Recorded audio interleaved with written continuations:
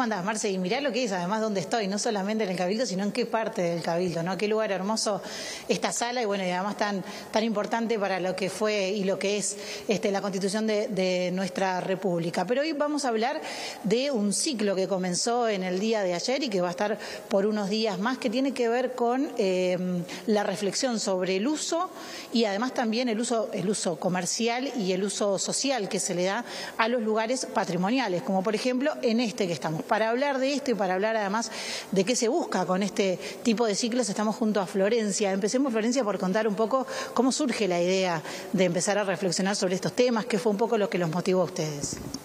Bueno, muchas gracias por, por haber venido y por permitirnos difundir este, este ciclo de charlas. Nosotros eh, somos estudiantes del posgrado de gestión cultural del área social y artística de la universidad.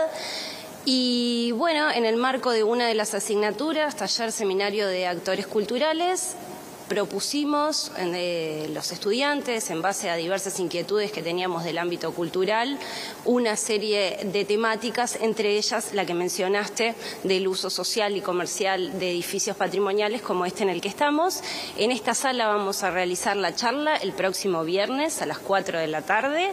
Es de entrada libre, todos y todas son bienvenidos a acercarse. Es en el horario del museo también para aquellos que quieran aprovechar para recorrer el museo. Va a estar abierto todas las exposiciones. Y bueno, em, te cuento un poco, si querés, de, de ¿Qué es lo que se busca, no? Cuando, cuando estamos hablando de, reflexionar sobre el uso que se le da social y comercial a, los lugares patrimoniales nuestros, porque ¿qué tanto uso le damos comercial? Eh, la pregunta sería por ahí, ¿no? ¿Qué tanto uso le damos? Bueno, eh, muchos visitantes tienen a veces inquietudes, por ejemplo, en el caso acá del, museo, de por qué ciertas reformas no se realizan, ¿no? Eh, si miramos un poco el edificio y, el estado actual. Y bueno, nosotros queremos que en base a, los, a, los expositores que invitamos, que representan diversas instituciones, va a haber una representante acá del Cabildo, por ejemplo, otro del Museo Histórico Nacional, otro del Museo de la Memoria, del MAPI, ¿no? Son diversas instituciones que dependen de distintos organismos estatales, algunos de gestión mixta, como el caso del MAPI, que es público-privado, y que se le permite un uso más comercial, como, como bien lo señalabas tú, ¿no? O sea, al ser de gestión mixta, tiene, por ejemplo, una sala de eventos destinada al alquiler para la realización, por ejemplo, de un cumpleaños o de una fiesta privada. Y es un edificio patrimonial. Bueno, en este caso el Cabildo es un edificio que es estatal y que nosotros eh, las actividades que hacemos acá están o en el marco de lo que es eh, la Intendencia de Montevideo, el Departamento de Cultura, eh, y básicamente en la línea de lo, de lo, que es el museo, ¿no? Son siempre actividades gratuitas, de entrada libre, y, ahí está el uso social. Digamos que uso comercial no tenemos, ¿no? A, lo sumo, bueno, no sé, eh, se me ocurre que alguna organización pretende utilizar esta sala y nos la pide prestada fuera del horario de, de público, ¿verdad? Y nos ofrece una donación para el edificio. Bueno, ahí en ese caso responde a lo que es una normativa departamental que nos permite recibir una donación que mejora las condiciones, ¿sí? este, digamos, de habitabilidad de este edificio patrimonial, suma a, lo que es este, nuestro acervo y a su vez eh, se, puede usar. Florencia, el objetivo un poco de, estas charlas o de, terminar con este ciclo es ver si se puede cambiar esa normativa para que aquellos que sean estatales puedan tener el mismo sistema que los mixtos.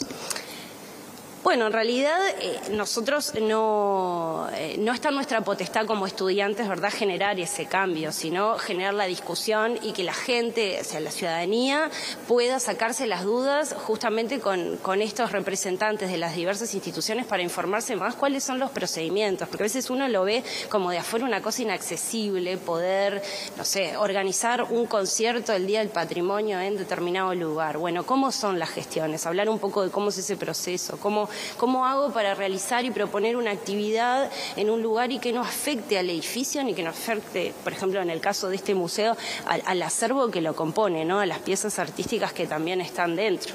Aprender a cómo lo podemos usar sin, sin dañarlo y siguiendo cuidándolo. Eso va a ser este viernes acá en el Cabildo, brevemente porque ya tenemos que ir cerrando, pero yo sé que ustedes además de este tipo de charlas hacen otras charlas.